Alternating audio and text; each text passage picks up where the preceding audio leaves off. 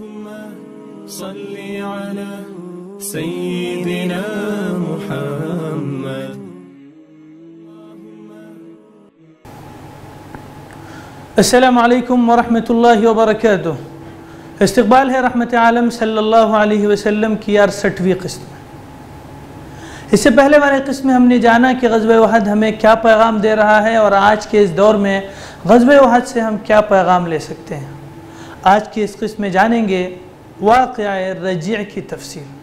नाजरीन, कबल इसके कि हम सन चार हिजरी में पेश आए वाक़ रज़ी की तफसील जानें, उन वाक़ात पर रोशनी डालें।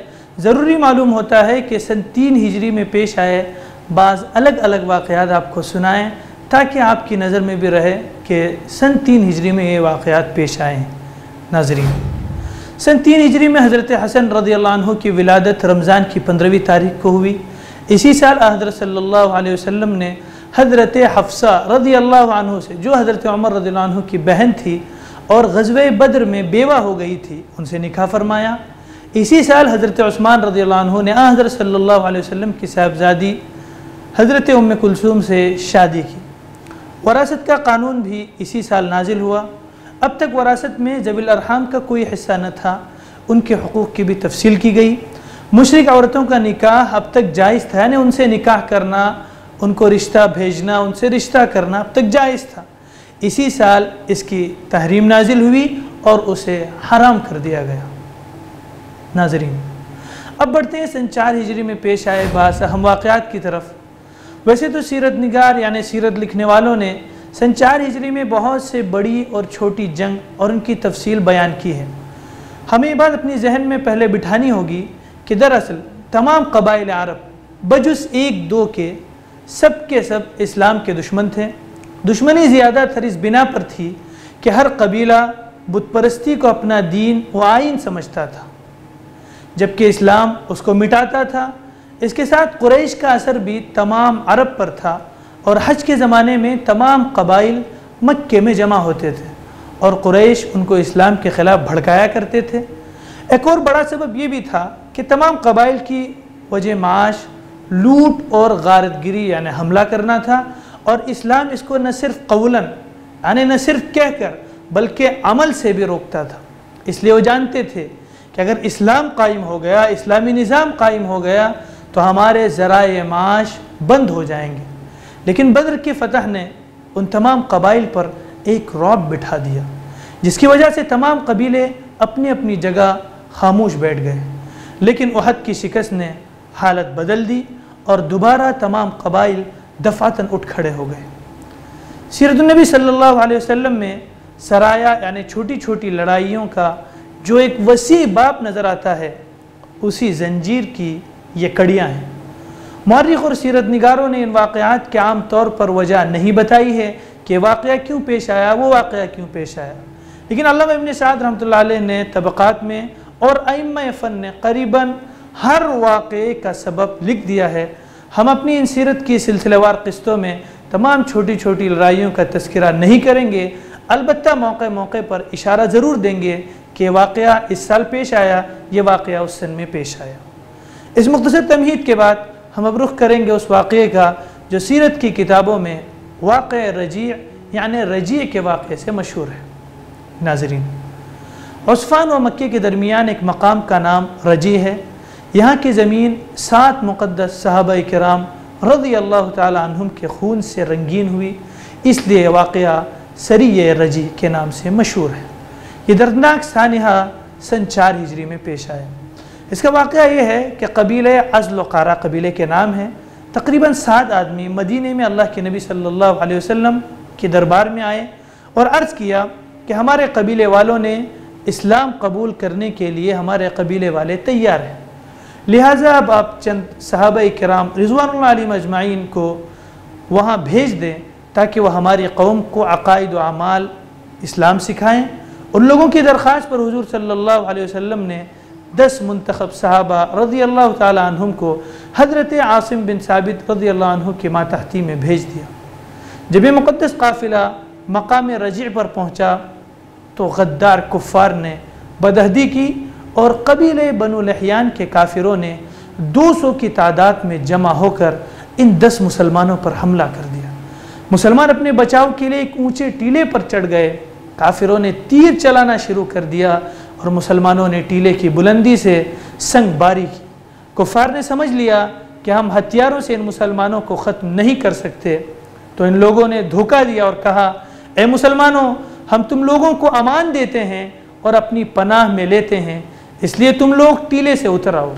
हज़रत आसिम बिन साबित रदलान जो इनके अमीर थे, उन्होंने फरमाया, मैं किसी काफिर की पनाह में आना गवारा नहीं कर सकता। ये कहकर खुदा से दुआ मांगी या अल्लाह तो अपने रसूल को हमारे हाल से मुतल फरमा दे। फिर वो जोश जिहाद में भरे हुए, टीले से उतरे और कुफ़ार से हाथों हाथ लड़ते हुए अपने छः साथियों के साथ शहीद हो गए। क्योंकि हज़रत आसिम रदील्ला ने जंग बदर के दिन बड़े बड़े कुफ़ार कुरैश को कत्ल किया था, इसलिए जब कुफ़ार मक्का को हज़रत आसिम रदी अल्लाह की शहादत का पता चला तो कुफ़ार मक्का ने चंद आदमियों को मकाम रज़ी में भेजा ताकि उनसे, उनके बदन का कोई ऐसा हिस्सा काट कर लाएँ, जिससे शनाख्त हो जाए कि वाकई हज़रत आसिम रदी अल्लाह कत्ल हो गए हैं। लेकिन जब कुफ़ार आपकी लाश की तलाश में इस मकाम पर पहुँचे तो इस शहीद की करामत देखिए कि लाखों की तादाद में शहद की मक्खियों ने इनकी लाश के पास इस तरह घेरा डाल रखा था, जिससे वहाँ तक पहुँचना ही नामुमकिन हो गया। इसलिए कुफ़ार मक्का नाकाम वापस चले गए। बाकी तीन अशखास, हज़रत खुबैब व हज़रत ज़ईद इबन दसीना, हज़रत अब्दुल्ला इबन तारिक रदी अल्लाह कुफ़ार की पनाह पर अतमाद करके नीचे उतरे। तो कुफ़ार ने बदहदी की और अपनी कमान की तातों से इन लोगों को बांधना शुरू कर दिया। ये मंजर देख कर हज़रत अब्दुल्ला इबन तारिक रदी अल्लाह ने फरमाया कि तुम लोगों की पहली बदहदी है और मेरे लिए अपने साथियों की तरह शहीद हो जाना बेहतर है। चुनाचा वो इन काफिरों से लड़ते हुए शहीद हो गए। लेकिन हज़रत खुबैब और हज़रत जईद इबन दसीना रदी अल्लाह को काफिरों ने बाँध दिया था, इसलिए दोनों मजबूर हो गए थे। इन दोनों को कुफ़ार मक्का ने, कुफ़ार ने मक्का में ले जाकर बेच डाला। हज़रत खुबैब रदी अल्लाह ने जंग वहद में हारिस बिन आमिर को कत्ल किया था, इसलिए उसके लड़कों ने उनको ख़रीद लिया ताकि उनको कत्ल करके बाप के खून का बदला लिया जाए। और हज़रत जैद इबन दसीना रज़ी अल्लाह को मैया के बेटे सफ़वान ने कत्ल करने के इरादे से ख़रीदा। कुरैश ने इन्हें हारिस बिन आमिर के घर में चंद रोज़ भूखा प्यासा कैद रखा था। एक दिन हारिस का बच्चा खेलता हुआ हज़रत खुबैब के पास पहुँच गया। उनके पास उस वक्त उस्तुरा था। उन्होंने बच्चे को जानू पर बिठा लिया। जब बच्चे की माँ ने यकाएक देखा कि इसका बच्चा कैदी के पास है, जिसे चंद रोज से उन्होंने बे आबोदाना यानी बगैर खाना खिलाए हुए रखा है और उसके पास उस्तुरा भी है तो बे इख्तियार चीख मारी हज़रत खुबैब रदुल्ला ने कहा यह समझती है कि मैं बच्चों को कत्ल कर दूँगा? नहीं जानती कि मुसलमानों का काम धोखा देना नहीं है। उधर ये कैद में ही थे और उनके साथ करामतों का सिलसिला भी हुआ। ये कुछ करामतें उनके साथ ये हुई कि औरतों का बयान है कि वो उस वक्त अंगूर वहाँ पर उनको खाते हुए देख लिया करती थी। नाजरीन जालिम कुरैश ने हज़रत खुबैब और हज़रत जईद इबन दसीना रज़ी अल्लाह तुमा को काफिरों ने चंद दिन कैद में रखा, फिर हरम के हदूद के बाहर ले जाकर सूली के नीचे खड़ा कर दिया और कहा, अगर इस्लाम छोड़ दो तो तुम्हारी जान बख्शी जा सकती है। दोनों साहबियों ने जवाब दिया, जब इस्लाम न बाकी रहा तो जान रखकर क्या करेंगे? अब कुरैश ने पूछा, कि कोई तमन्ना हो तो बयान करो? हज़रत खुबैब रदुल्लाह ने कहा कि दो रकात नमाज़ पढ़ लेने की हमें मोहलत दी जाए। मोहलत दी गई तो उन्होंने नमाज़ अदा की। हज़रत सैदना खुबैब रदुल्लाह ही वो पहले इंसान हैं जिन्होंने जुल्मन कत्ल किए जाने वाले हर मुसलमान के लिए कत्ल से पहले नमाज़ पढ़ने का तरीक़ा जारी फरमाया था। हज़रत खुबैब रदुल्लाह ने नमाज़ के बाद कहा, मैं नमाज़ में ज़्यादा वक्त सर्फ करता, लेकिन सोचा कि कहीं तुम ये ना समझो कि कहीं मौत से डर गया है। बेरहमों ने दोनों को सलीब यानी सूली पर लगाया, लटकाया और नेज़ा वालों से कहा कि नेज़ा की आनी उनके जिस्मों के एक हिस्से पर घाव लगाएँ, यानी उनको तड़प तड़प कर मारना चाहते थे। अल्लाह अकबर, उनका दिल इस्लाम पर कितना कायम था। उनको दीन हक पर कितनी इस्तकामत थी। उनको हमेशा की नजात और खुदा की खुशनुदी का कितना यकीन था कि उनकी तमाम तकलीफ़ों और ज़ख्मों को बर्दाश्त करते हुए उफ तक न किया। एक सख्त दिल ने हज़रत खुबैब रजू के जिगर को छेदा और पूछा, कहो, अब तुम भी पसंद करते होगे ना कि मोहम्मद वसल्लम फंस जाएँ और मैं छूट जाऊँ? हज़रत खुबैब रजू ने नहायत जोश से जवाब दिया, खुदा जानता है, मैं तो ये भी नहीं पसंद करता कि मेरी जान बच जाने के लिए नबी वसल्लम के पाँव में कांटा भी लगे। अल्लाह के उस बरगुजीदा बंदे हज़रत खुबैब रजू ने मक्तल, यानि कतलगाह और तमाशाइयों के हजूम में सलीब सूली के नीचे खड़े होकर बरजस्ता अशार कहे, उनसे इस मंजर की पूरी कैफियत और इस बुजुर्गवार की सदाकत और मोहब्बत इस्लाम की पाकिज़ा सूरत नज़र आती है। अरबी अशार हैं लक़त जमाल अहजाब हौली व अलब्बू इला आखिर, यानी पूरा वो कसीदा है, इस पूरा कसीदा का तर्जुमा पेश है। यानी वो फरमाते हैं अम्बोह दर अम्बोह लोग, यानी जमात दर जमात लोग, मेरे इर्द गिर्द खड़े हो रहे हैं। और उन्होंने बड़ी बड़ी जमातों को बुला लिया है। ये सब के सब अदावत निकाल रहे हैं और मेरे खिलाफ जोश दिखा रहे हैं। और मैं इस हलाकत गाह में बंधा हुआ हूँ और कबीलों ने अपनी औरतों और बच्चों को भी बुला रखा है और मुझे मज़बूत बुलंद लकड़ी के पास ले आए हैं। उन्होंने कह दिया है कि कुफर इख्तियार करने से मुझे आज़ादी मिल सकती है, मगर इससे तो मौत मेरे लिए ज़्यादा सहल है। आँखों से लगातार, आँखों से लगातार आँसू जारी हैं, मगर मुझे कुछ बेचैनी वो बेसब्री नहीं है। मैं दुश्मन के सामने नाजिजी करूँगा और न रो चिल्लाऊँगा। मैं जानता हूँ कि मैं खुदा की तरफ़ जा रहा हूँ।